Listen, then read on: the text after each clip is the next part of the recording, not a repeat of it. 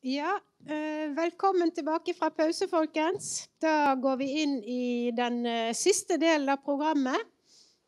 Vi skal ha et par innlegg først eh, her fra talerstolen, og så skal vi over og ha en, en liten samtale hvor flere skal delta. Så skal vi avslutte dagen med en byvandring i den historiske byen. så Derfor skal vi prøve å avslutte programmet litt før. Men vi skal få litt mer praktisk informasjon om det etterpå. Så nå har vi først fått eh, dere to ifra, ifra eh, Bylivssenteret til eh, arkitekt, norske arkitekt... hva heter det igjen? Nå mistet jeg Unnskyld meg. Arkitektforbund. Der var vi. Og der har vi dere to. Det er Lise Lastuvold, som er fagansvarlig for stedsutvikling og klima, med mye erfaring fra dette arbeidet. Og så har vi eh, fra eh, den andre, som er eh, Alexandra Nei. Ja, beklager. Nå mistet jeg tråden litt her, så det har gått så fint i dag. Men dere skal i hvert fall fortelle om byutvikling og mulighetene i en bærekraftig utvikling. Så vær så god til dere for invitasjonen. Jeg heter Lise Larstevold og er arkitekt og ansvarlig for Bylivssenteret i Norske arkitekters landsforbund. Og jeg heter Peran Sylvia Stokke, er fagrådgiver i Norske arkitekters landsforbund og er kunsthistoriker. I dag skal vi snakke om bygningsarvens potensial for attraktiv og bærekraftig by- og stedsutvikling. Og dette skal vi gjøre med utgangspunkt i stedsutviklingsprosesser som Bylivssenteret har vært involvert i, og den rådgivningen vi driver. Bylivssenteret eies av NAL, Norske arkitekters landsforbund, og støttes av KMD, som er Kommunal- og moderniseringsdepartementet. Og vi eh, bistår små og mellomstore kommuner i bærekraftig stedsutvikling. Eh, som et forbund eh, for arkitekter har vi fokus på rådgivning knyttet til bygdeomgivelser, og ønsker å inspirere til god arkitektur.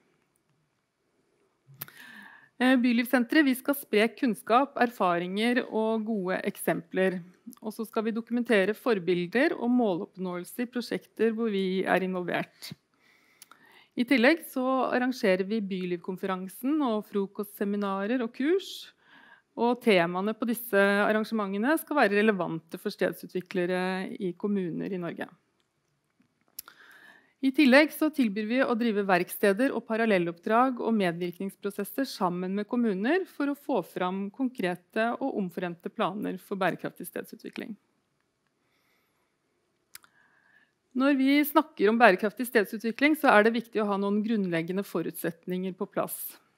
Og I bestillingen fra KMD til Bylivssenteret eh, er basert på nasjonale forventninger til regional og kommunal planlegging her med Bybanen på forsiden av eh, dokumentet. Eh, vi vektlegger da eh, også FNs bærekraftsmål i, forbindelse med denne bestillingen. Og sosial, økonomisk og miljømessig bærekraft er likt vektlagt.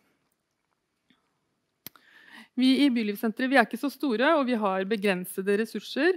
Eh, også for oss er det viktig at de prosjektene som vi involverer oss i, de eh, er i gode og varierte eksempler for andre kommuner. Og da jeg startet mitt arbeid eh, i Bylivssenteret for et års tid siden, så gjorde jeg en kartlegging av arbeidet som har vært gjort eh, siden oppstarten av Bylivssenteret i 2016. På det kartet dere ser her, så ser dere alle kommunene som Bylivssenteret har bistått i Norge mellom 2016 og 2020. Så du ser vi har vært eh, over det ganske land og helt ifra sør til nord. Eh, vi, startet, eh, vi har samarbeidet og utført bistand i 47 kommuner over hele landet. Og 22 av disse kommunene har gjennomført omfattende parallelloppdrag eller mulighetsstudier med arkitektteam involvert. Og da kobler vi gjerne fylkeskommunene på på de mer omfattende eh, prosessene. Da.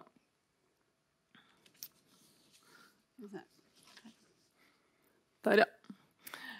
Um, skal vi, se. vi er blitt bedt om å snakke om bygningsarvens potensial for attraktiv og bærekraftig by- og stedsutvikling. Og først da så tenkte vi at da kan vi spørre oss uh, hvorfor skal vi ta vare på kulturminner og kulturmiljø.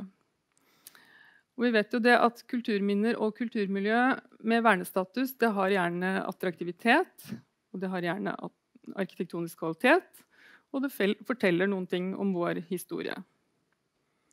Og store deler av bygningsarven vår er jo ikke formelt vernet, men Se, du må gå tilbake.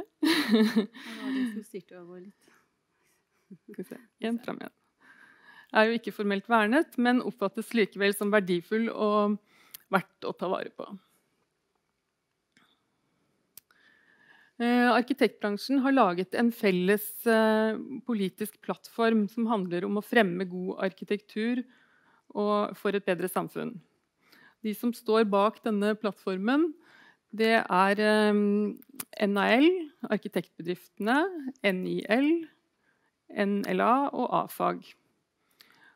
Og denne plattformen er delt inn i fire fokusområder. Og fokusområde fire, det siste fokusområdet, handler om gjenbruk og transformasjon. Og bedre gjenbruk av bygninger og bygningsmiljøer. Og dette området igjen består av to delmål. Det første er å fremme gjenbruk eh, som verdi i eksisterende bygningsmasse. Og det andre er å etablere et system for sirkulærøkonomi gjennom gjenbruk av bygninger og uteanlegg. Og her I det første delmålet så understrekes det at historien og kulturen som ligger i bygningsarmen, er viktig for stedsidentitet og utvikling av trygge omgivelser der folk føler tilhørighet. Og dette er jo noe som underbygger sosial bærekraft. I tillegg så understrekes det at gjennom tilpasning til ny bruk så får bygningene og de bygde omgivelsene et lengre liv og en fortsatt historie. Og det viktigste er kanskje at gjenbruk gir ressursbesparelser i materialer og klimagassutslipp, noe som underbygger den miljømessige bærekraften. Dernest dernest kan vi spørre oss hva er egentlig attraktive omgivelser?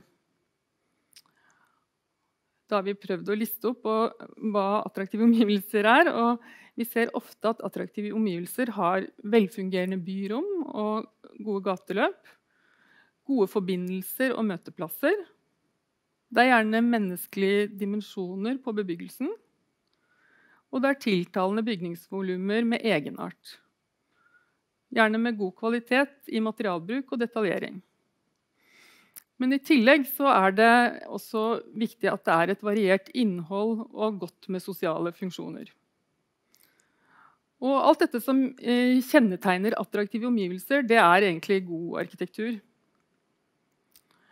I bygningsarven finner man ofte mange av disse momentene som kjennetegner attraktive omgivelser og god arkitektur.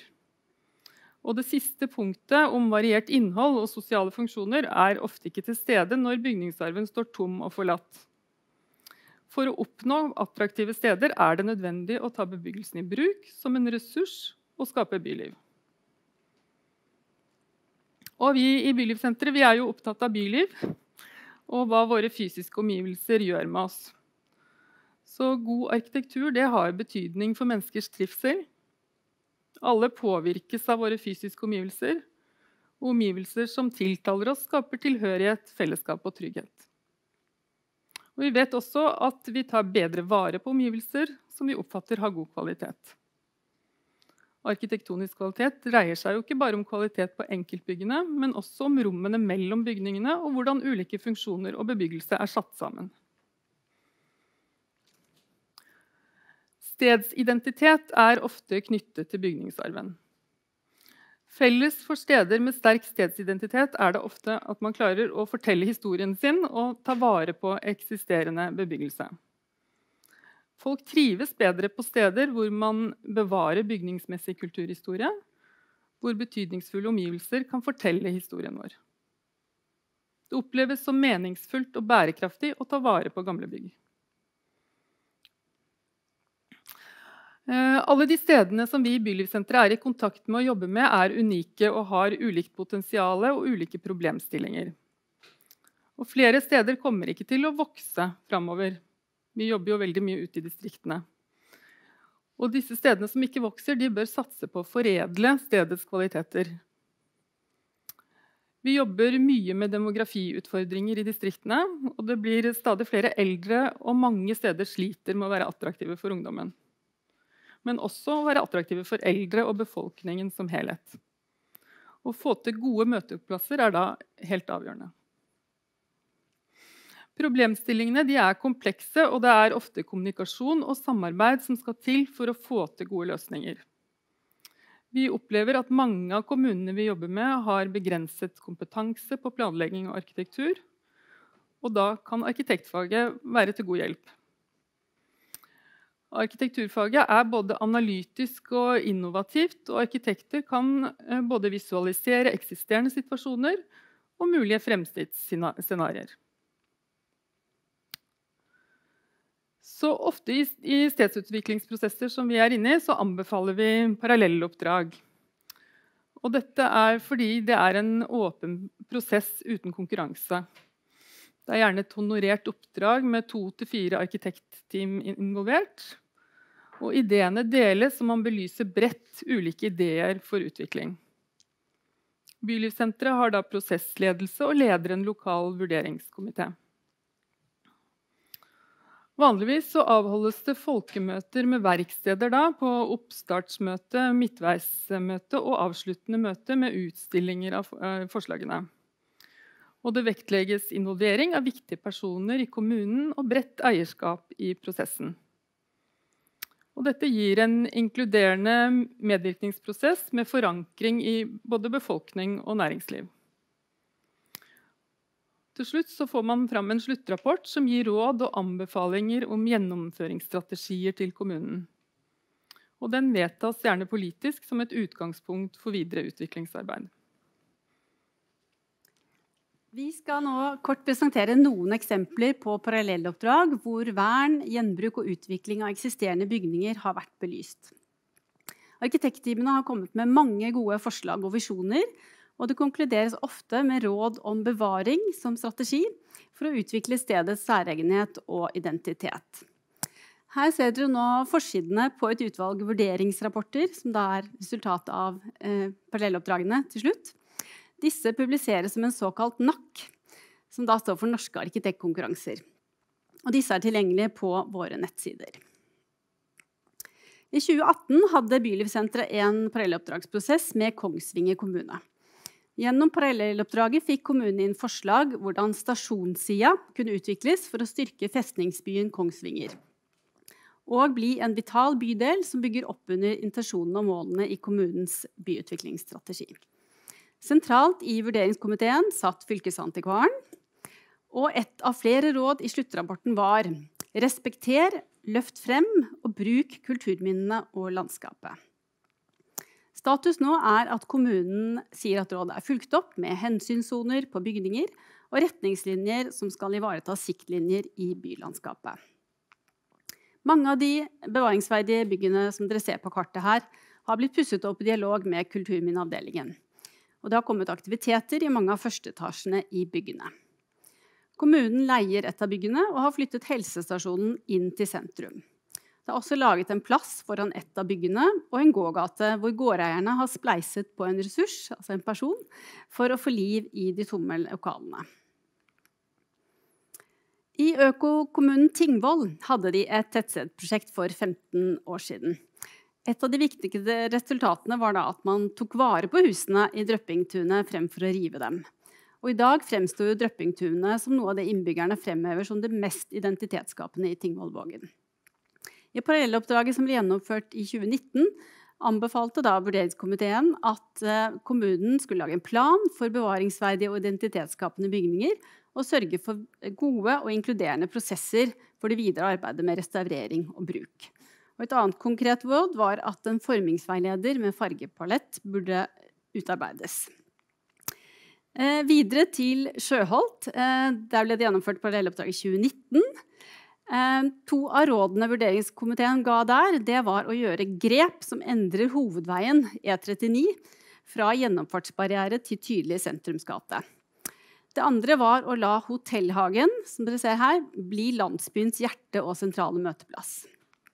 Hotell Sjøholt ble fredet av Riksantikvaren i 2017 som et godt bevart eksempel på et turisthotell i Sveitsertil fra tidlig 1900-tall. Arkitektteamene mente at hotellets karakteristiske fasade burde inspirere og nytolkes i utforming av ny bebyggelse, som også burde ta utgangspunkt i stedets fargepalett. Status nå er at arbeidet dessverre har stoppet opp. Statens eh, vegvesen ønsker ikke å endre hovedveien. Kommune og fylkeskommune derimot, som vi snakket med i går, mener det er samfunnsnyttig og samfunnsøkonomisk. Men Statens vegvesen har sendt saken videre til Vegdirektoratet. Så er det et parallelloppdrag for offentlig rom på Nyhavna i Trondheim, som ble gjennomført i 2020. Der ligger det, som dere sikkert kjenner, to ubåtbunkere, bl.a. fra annen verdenskrig. Det som vurderingskomiteen vektla der, det var å lage byromsnettverk som legger til rette for ulike sosiale fellesskap. Som løfter frem kulturminnene og sikrer kontakten med vannet. Og i tillegg å la gjenbruk av bygg og strukturer og materialer bidra til karaktersterke offentlige rom og et variert bymiljø med tydelig miljøprofil i framtidens bydel. Ja, et av våre siste pågående parallelloppdrag foregår i Nesna kommune. Og Nesna er jo et lærested med høyskole, har vært det i over 100 år. Og I begynnelsen så var det nesten bare skolen og kirken på Nesna, sånn som dere ser på bildet her. Eh, mye av identiteten til stedet er knyttet til lærerskolen, og i 2019 ble skolen besluttet nedlagt. og Kommunen ble innvilget status som omstillingskommune. Eh, dette resulterte i et parallelloppdrag og stedsutviklingsprosess for å gjøre Nesna attraktiv på nye måter, ikke bare som et lærested. Nå er skolen reddet antagelig med ny regjering, og, men det er likevel nødvendig å gjøre Nesna mangfoldig og attraktivt. Det gamle skolebygget er foreslått fredet, Eh, men det er foreløpig ikke noe vernestatus på bygget. Eh, ja, og selv om ingen bygg nesten er vernet, er det flere bygg med arkitektonisk eller historisk verdi som befolkningen har et forhold til. Byggene har også en klimamessig og økonomisk verdi hvis de kan brukes til nye funksjoner istedenfor å bygge nytt. Arkitektteamene har mange spennende forslag. De foreslår å bruke det utdaterte samfunnshuset til eh, et eh, hotell og kulturhus. Det nedlagte meieriet, landbruksverkstedet, skal få nye funksjoner. Og det gamle fraflyttede studentboligen og asylmottak, nedlagte asylmottaket skal oppgraderes til små leiligheter. Disse bygningene har ikke noe antikvarisk verdi, men de forteller en historie og lar seg fint transformere. Attraktiv byprisen den skal vi ikke gå så mye inn på nå, for nå tid, løper tiden av gårde. Men jeg har bare lyst til å fortelle det at vi har jo hatt Bylivkonferansen som en arena for å presentere Attraktiv byprisen eh, de to siste årene. Eh, og nå jobber vi i tillegg på oppdrag fra KMD å ferdigstille en publikasjon som skal presentere alle finalistene de syv siste årene. Og det er helt tydelig at byer og steder med sterk bygningsarv og som bruker kulturmiljøet som utgangspunkt for utvikling av levbare og attraktive byer og steder, er godt representert i listen over finalister, som dere ser her. Så vi går bare raskt gjennom, for tiden går unna her. Så vi, det får dere lese om i publikasjonen når den kommer på nyåret.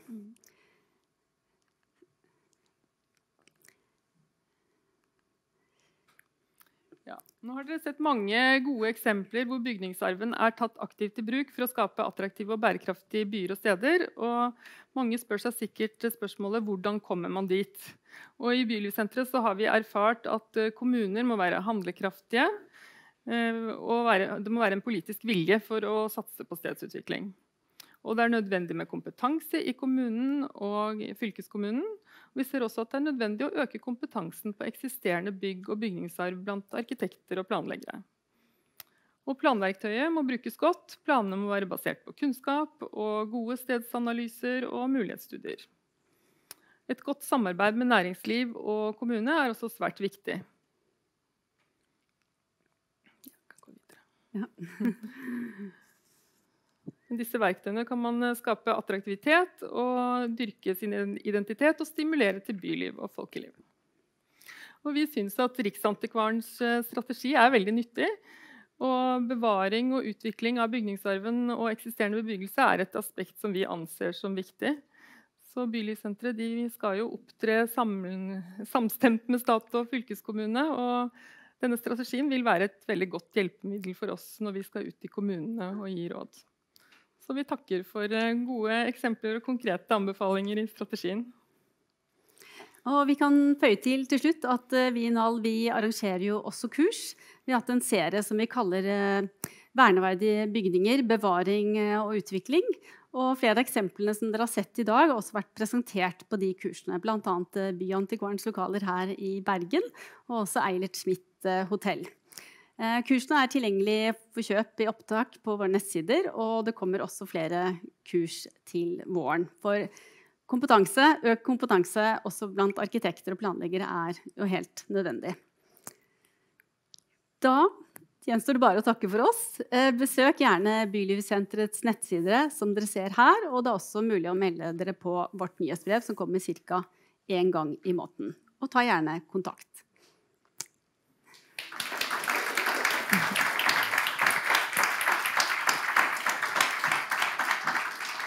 Tusen takk skal dere ha, begge her. En liten sånn oppmerksomhet til hver av dere. En lite minne herifra.